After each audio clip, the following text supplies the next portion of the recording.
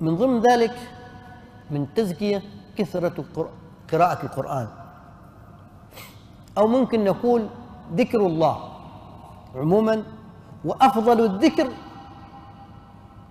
أعلى ذكر بعد الأذكار يعني الواردة الصباح والمساء وما بعد الصلاة هو قراءة القرآن. أفضل الذكر قراءة كلام الله الذي لا يأتيه الباطل من بين يديه ولا من خلفه.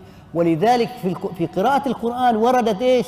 حديث خاصة في فضل قراءة القرآن. لماذا؟ لأنه أعلى كلام. وفيه كل شيء. تصغي القلوب. لا أقول ألف لام ميم حرف ولكن ألف حرف ولام حرف وميم حرف ولكل حرف لقار لكل قارئ بكل حرف عشر حسنات. وجربوا واحد منا يقرأ القرآن جزء يقرأ جزءا من القرآن متواصل أو يقرأ سورة البقرة كاملة متواصلة أو يقرأ جزئين متواصلا أو خط خمسة وينظر نفسه قبل القراءة وبعد القراءة كيف الراحة النفسية؟ هذه تزكية.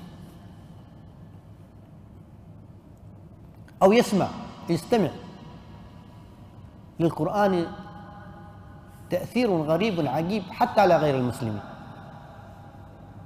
تزكية.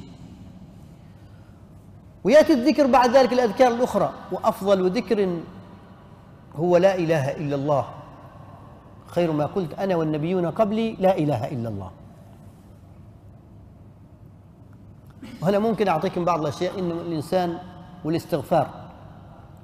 استغفار الصيغ إن كان الإنسان ممكن يبدأ بالاستغفار كل يوم 300 مرة ويبدأ مثلا لا إله إلا الله كل يوم 100 أو 200 والصلاة على النبي صلى الله عليه وسلم 100 مرة كل يوم الصباح وانظر نفسك بعد أسبوع أو بعد شهر ستجد نفسك اختلفت عما قبل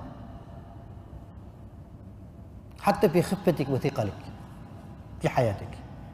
سبحان الله.